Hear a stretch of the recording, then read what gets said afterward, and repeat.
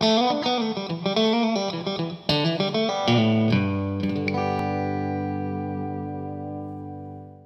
my family moved across the country, we sold almost everything to make it happen. Relocating from the wine country of Southern California to the upstate of South Carolina meant rebuilding our home, one thrift store find at a time. I'm a writer, speaker, published author, and now the owner of Carolina and Country, selling uniquely designed and thoughtfully handcrafted goods to customers coast to coast. Hi, friends. I'm your host, Christine Chappell, and I'd like to invite you into the Carolina and Country Workshop, where the trial and error of upcycle design takes place. Watch the process from start to finish, from thrift store find to home decor treasure and all the messiness in between. I am no expert. I'm just a married mother of three trying to live that upcycled life.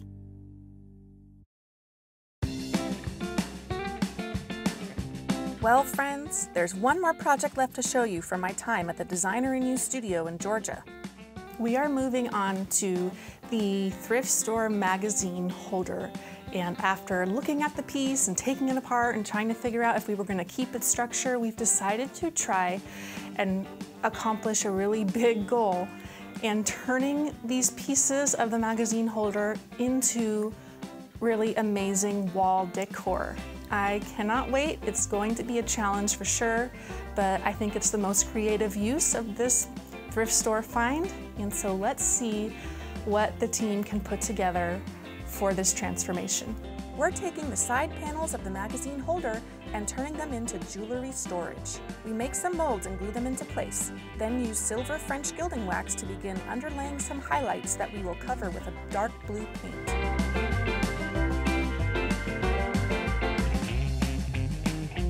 Decide to paint with a smaller brush to get into the nooks and crannies of the molds, but still leave some of the white and silver to peek out from underneath. While that dries, we start working on the ideas for the end panels of the magazine holder. Francine, the owner of Designer in You, helps me to mix the texture Toscana with some green paint to give this flat surface some grit. Then we decide to use a beautiful rub-on transfer, which is also part of the Designer in You product line. We carefully position the transfer onto the board, and with the provided wood stick, we start transferring the image. With a sanding block, I begin the work of distressing the transfer. I was sanding our repurposed magazine holder end into, uh, we were turning it into some wall decor with a really neat rub-on transfer, and the sander and the transfer did not play well together. And now I have a gouge on my board and I'm sad. So we need to fix it. We don't have time to finish this project in the studio and it's such a bummer. I hate to leave a problem unaddressed. While I drive home to South Carolina trying to figure out how to salvage this mistake, let's invite my friend Amanda Whiting to speak some truth about renewal to us all. Maybe there'll be something in her message that will inspire a creative solution.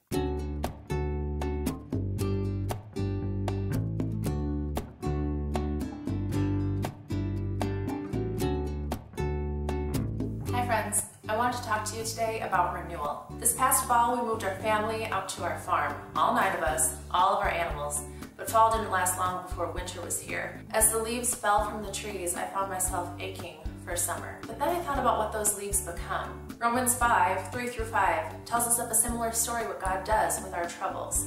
He takes those troubles and then he turns them into perseverance. Perseverance into patience, patience into hope. As the leaves fall from the trees, they'll hit the ground. They'll become something new over the winter, nourishment for those very same trees. And we'll see that evidenced in the new life that grows in the spring. Can you believe that today? That God is producing, upcycling a new thing in you, that He's taking your troubles if you give them to Him, and He will change them into patience, change that into perseverance, and upcycle that into hope. I hope you can believe today that you have a God who is at work in you and that He will renew all things for His good. Hmm. Troubles into perseverance, perseverance into patience, and patience into hope. I think that's just the reminder I need to have the courage to try a new direction with this board. Back at home, I look at the pieces of the deconstructed magazine holder, and a new idea begins to flow. You know what that means hardware and power tools. We locate the hardware I need to tackle my ideas, some tiny gold hooks and silver hinges. Remember the handle of the magazine holder? Well, I'm thinking I'm going to cut it into two pieces and make them stands for a couple of the projects. A simple cut and some sanding and you'd never know this used to be a handle at all. And you know what? I don't like the ends of these side panels, so off with their heads. Let's really transform these puppies into something totally fresh. Again, some light sanding and you'd never know that they used to be there. This is turning out great. I've got to touch up the paint on the panel I worked on in Georgia. So I attach and paint the gold hooks, and now this jewelry holder can accommodate necklaces and bracelets. For the second side panel, I'm going to do some very similar things, but this will be a horizontal orientation instead, so it can be placed on a tabletop. I lay down some paint with the idea that I will use the Designer in You Make It Crackle to create some texture and depth. Once the first layer of paint is dry, I'm ready to apply the Make It Crackle medium to the entire board, even the molds I glued. All it takes is one coat of this medium to create a really neat crackling effect. Once I've got it covered, I wait until it's dry and then apply my top coat of paint. After a few minutes, the crackling begins to form, revealing the color underneath. Whew, I am juggling lots of projects right now. It's time to call in some help for my eldest child, Brianna. I've got an idea to renew the board that was causing me so much trouble. I'm thinking I want to try and see about making it a book stand for the kitchen. I have Brianna prime and paint some decorative knobs my sister-in-law mailed to me for occasions such as this. After painting the handle turned stand, I attach it to the back of the board with the hinge set I bought. Well, how did the front turn out, you ask? Wait until the end of the show for the reveal. In the meantime, check out the ribbon I fixed to the piece to make sure the stand was secure and ready for book holding. Brianna is still hard at work prepping the next board for me to upcycle. Some sanding preps the surface to grab onto the paint, and of course I use the Designer in You brush and project cleaning solution to get all the dust particles off. We've got one more board to paint and I'm really excited about the color scheme. There's going to be lots of neutrals but also pops of green and red. And I am using a rub-on transfer from our friends at Designer in You. It's a beautiful, beautiful transfer. Can't wait to get it on the wood, but first I have to paint it. I'm painting with Grandma's Pearls and Totally Taupe. Two colors I have not worked with before, but I can't wait to see how it all comes together. So let's get painting. I only paint one coat of Grandma's Pearls onto this board because I know I'm going to distress the surface a bit. Once I position the transfer, I use the stick to press it onto the surface. Because the transfer doesn't cover the entire board, I use scissors to cut excess pieces to create coverage for the top handle portion. With the edges of the transfer hanging over in certain places, I lightly sand to contour and blend the edges. After some sanding to distress the board, I'm ready for two coats of Designer in You Matte Poly. I am so excited that the idea to turn one thrift store dud into four pieces of home decor treasure actually worked out.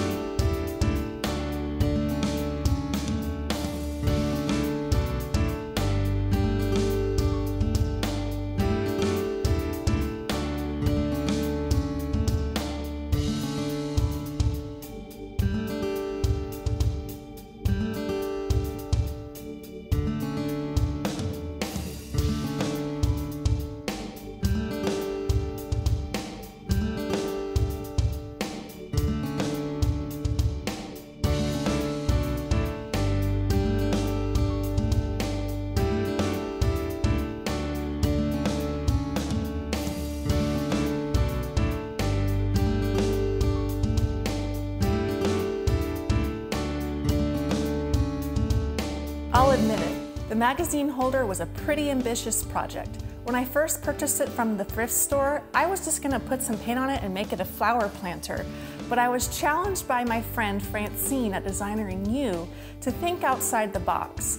And so by deconstructing the piece, taking it completely apart, we saw the potential for four different pieces of home decor. I almost got derailed when the mishap happened during the sanding of the rub-on transfer for one of the boards. I was so frustrated and down on myself because I had messed up and it wasn't perfect anymore.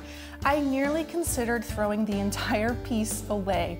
I thought it was unsalvageable. But once I heard Amanda's words in her upcycled minute, I knew that I had to be patient. It was really helpful to me to remember that when I am imperfect and messed up and maybe there's a little too much sandpaper in one area or the other, God doesn't just simply toss me aside and throw me away. He commits to renewing that area, to rebuilding it, and to breathing new life into it. Sometimes when we're broken, we think that we are also beyond repair. But the wonderful news of the gospel is that there's nobody outside of the reach of God's grace. Our God is a resurrection God. He is in the business of making all things new, including you and me. No matter what the scars, no matter what the past, He is committed to changing us from the inside out. I want to thank Amanda for her Upcycled Minute devotion today, and I also want to thank our special sponsor, Designer in You. If you liked today's episode, please give it a thumbs up or comment down below and let us know what your favorite part was. Be sure to subscribe to us on YouTube so that you don't miss an Upcycled Minute. And tune in next Friday for TUL Uncut, the unedited, unscripted video interview series hosted by Bobbie Schae. She will be interviewing our Upcycled Minute guest, Amanda Whiting, and it is a conversation you are not going to want to miss. The wonderful thing about taking time to reflect on the wonderful thing about taking time to refer it was really helpful to oh my gosh it was really helpful to me to remember that when i am imperfect